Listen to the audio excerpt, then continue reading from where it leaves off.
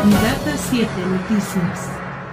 Bueno, mi nombre es Tulio Alberto Cowi, estoy acá con mi amigo Octavio Luna. Octavio Luna.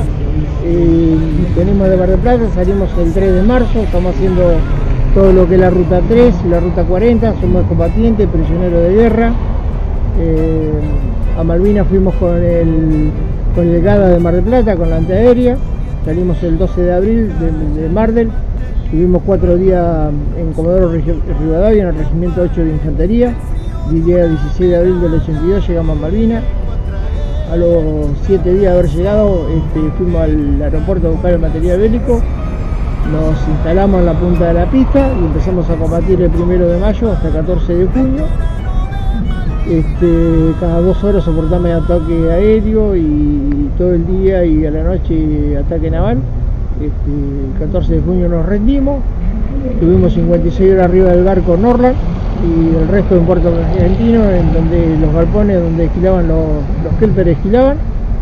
Este, esa más o menos la historia nuestra y hoy andamos malvinizando haciendo la ruta 3 y la ruta 40 en un viaje que nos va a llevar más o menos aproximadamente entre 3 y 4 meses. Bueno, pues con respecto al del acto, la verdad que muy emotivo y bueno, me gustó la reflexión de señora de un veterano de guerra y las palabras del, del presidente del centro de combatientes muy, muy, muy bueno, muy emotivo. ¿Pudieron regresar a Malvinas después de todo el combate? No, yo mira, yo en lo particular no, no, no quería ir porque tenía que sacar pasaporte. Es como, no sé, dije, ya salgo nuestro y tengo que sacar pasaporte, ¿no? Pero bueno, hoy ya con casi 60 años que lo cumplo en octubre, ya cambié la mentalidad, quiero volver, como que quiero a ver lo, lo que dejé allá, la juventud, ¿no? Y sí, voy a ver si saco pasaporte y por ahí me acompaña mi amigo el año que viene para ir a Malvinas. ¿Qué les pareció las palabras de Tiago? Bien, muy lindo. Muy emotivo, Muy emotivo. lo veníamos siguiendo, la verdad que es una cosa que se tendría que implementar en todo el país, no solamente acá en, Tierra del Fuego. este, en esta zona, ¿no? Con Tierra del Fuego y en otras provincias que seguramente acá en la zona se van a adherir a la ley. Este, sería importantísimo que fuera a nivel nacional. ¿Un mensaje para la juventud? Y que te- tratar de, de malvinizar, tratar- nosotros tratamos de malvinizar todos los días, ojalá que la causa no se pierda.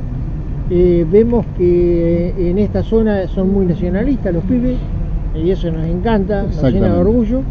Este, así que bueno, eh, que sigan con la causa, que sigan con la causa, que para eso este, perdimos 632 este, eh, Compañero. camaradas, compañeros allá y hemos perdido mucho en la posguerra.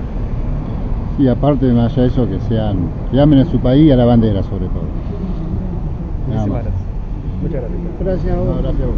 Culminamos el segundo y último día de homenajes acá en la ciudad de Ushuaia, más concretamente en la Plaza Islas Malvinas, en homenaje a los 40 años de los caídos en nuestras islas. Francis Mazuco, Data 7, Ushuaia, Tierra del Fuego, Argentina. Data 7 Noticias.